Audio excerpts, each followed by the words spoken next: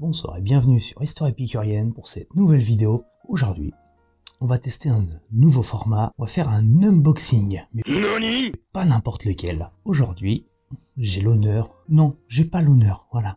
J'ai deux coups de gueule à passer. Numéro 1, j'ai appris que Terre de France annulait son film. Comment vous dire que pour une fois qu'un film allait parler de l'histoire de notre pays, eh ben non, non, tout le monde s'est barré. Fuyez, pauvre fou Honneur à eux à Terre de France d'avoir su annuler en temps et en heure leur projet, car je pense qu'il valait mieux arrêter là le désastre avant de se lancer à corps perdu, à créer un film en moins d'un an, pour avoir, je pense, hein, une bouse à la fin, parce que voilà, le délai était vraiment trop court.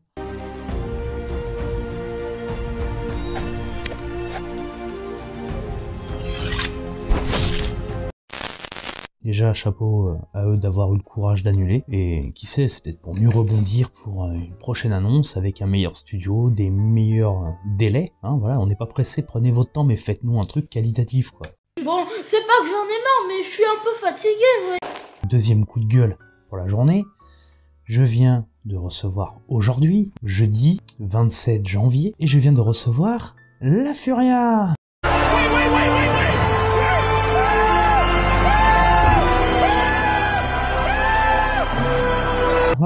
une semaine que j'attends. Il y en a qui l'ont acheté en magasin, qui ont attendu moins longtemps. C'est honteux Comme vous l'avez deviné, aujourd'hui on va unboxer la Furia. Mais avant de commencer, qu'est-ce que la Furia? La Furia c'est le projet de quatre personnes. Papacito, Laurent Burton, Marceau. Et pour finir, celle qui les tient tous par les... Vous comprenez? Laura Magnier. Et pour ne citer que, vous pouvez retrouver dans la Furia d'autres personnalités telles que Stéphane Edouard, Julien Rochdy, Pénaud et plein d'autres. Voilà messieurs dames, je sais que vous vous attendez qu'une chose, c'est que j'éclate le sachet pour vous faire voir ce magnifique bouquin. Alors allons-y. Et voici le magnifique La Furia. Oui, oui, oui, oui, oui, oui, oui Ah oui, vous, vous espérez le voir ouvert, alors on y va. Je vais pas vous faire voir l'autre côté, il y a mon adresse, mon nom, voilà, j'ai pas envie que des haters viennent squatter devant chez moi. Hein. Après, ils seront bien reçus. Hein. Donc, on déballe. Hein. L'emballage Wish. Et voici le magnifique La Furia numéro 1. C'est pour qui la démocratie?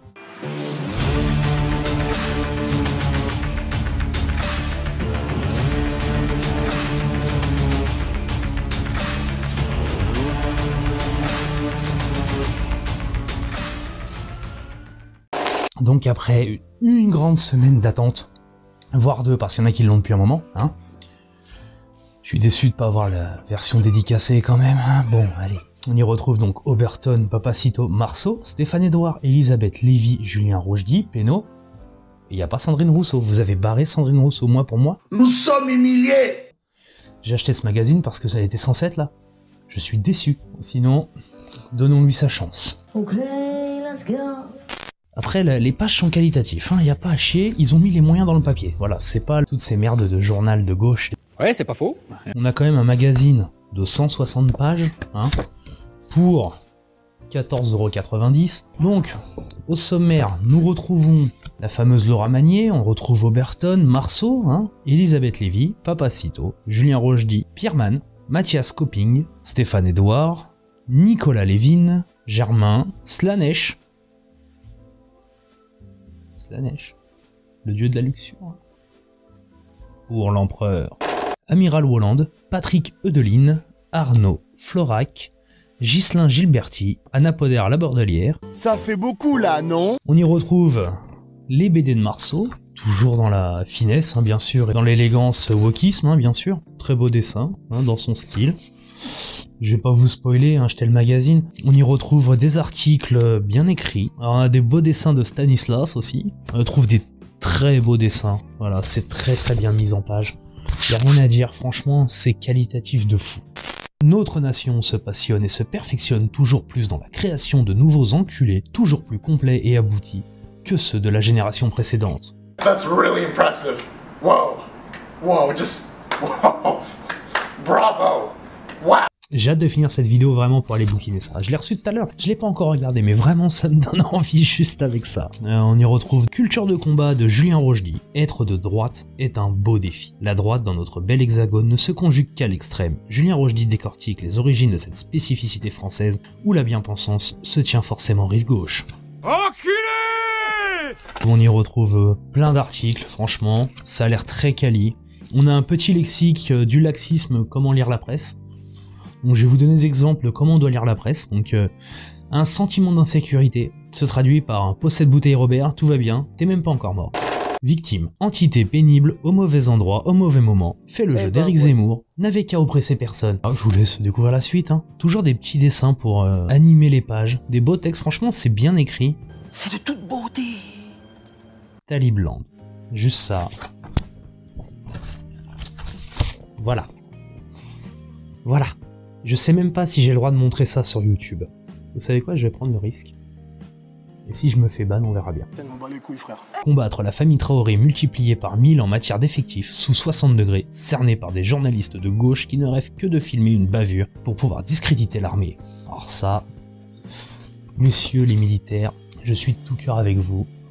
On va dire que l'État ne fait rien pour vous aider. On vous envoie à l'autre bout du monde à apporter la démocratie, mais derrière on vous la met tellement profond à vous dire Eh, c'est pas bien, faut pas tirer sur les gens. Ta gueule Force à vous sur toutes vos opérations, que vous soyez au Mali ou ailleurs, n'importe où vous soyez dans le monde, vous avez mon soutien et je pense de celui de beaucoup de Français. Peno, comment dire, j'adore ce qu'il fait. J'en ai fait une vidéo de lui, hein, donc euh, voilà. Et j'ai hâte de le voir écrire. Voilà, cet article, je pense que c'est peut-être le premier que je vais lire. 5 pages pour Peno, beau boulot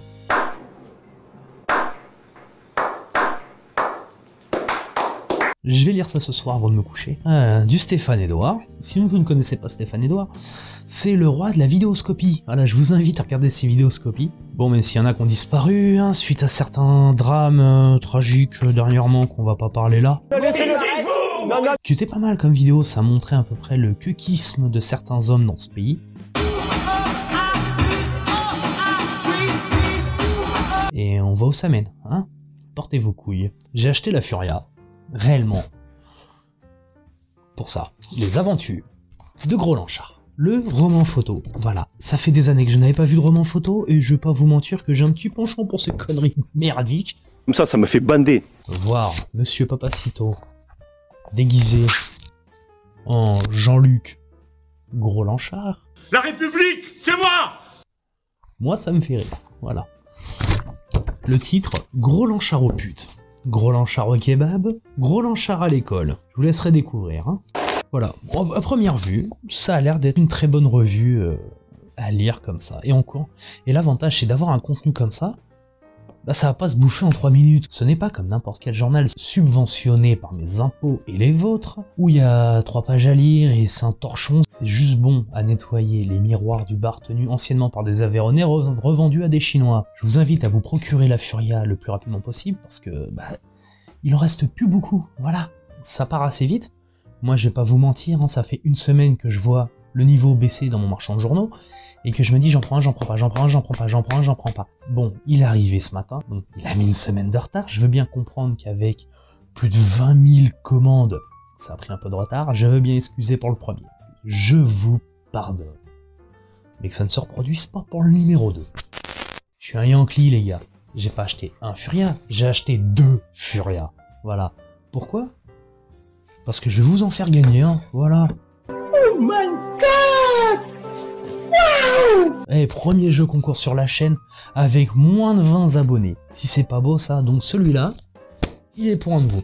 Je pense que le concours va être organisé sur ma page Instagram. Donc euh, bah, c'est pas compliqué. hein. Il faudra aller s'abonner à ma page Instagram. Hein, un commentaire. Vous mettez euh, deux personnes. Ouais, vous pouvez au moins partager à deux personnes. hein, et vous serez euh, éligible à gagner la Furia. Mais oui, c'est clair. Sur ce, mes amis, je vais pas vous faire chier plus longtemps. hein, je sais que vous avez une vie, euh, vous aussi. Je vous invite à aller suivre euh, Oberton, Papacito, Marceau, Laura Magnier tous les autres. Julien Rochdy, Pénaud, Stéphane Edouard. Donnez-leur de la force parce que ils sont pas aidés par les grands médias. C'est pas Mediapart. Donc euh, je vous mettrai le lien dans la description hein, si vous voulez aller voir le site. Là, je vais vous souhaiter une excellente soirée. Je vous invite à me rejoindre aussi sur les réseaux sociaux. Vous pouvez me retrouver sur Instagram, sur Twitter, sur Getter, sur Facebook, sur YouTube. Abonnez-vous, bordel de merde, mettez-moi des clics là, faut que ça grimpe. Passez une bonne soirée et je vous dis à la prochaine pour une nouvelle histoire sur Histoire épicurienne. Bonne soirée.